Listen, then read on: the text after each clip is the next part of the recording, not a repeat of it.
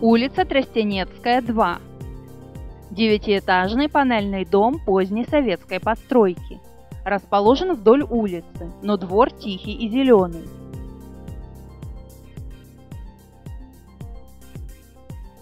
В парадных домофоны.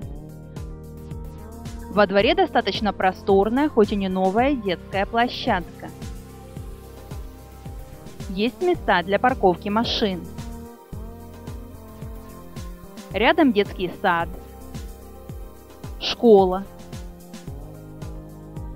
дом быта с разнообразными заведениями и супермаркетом.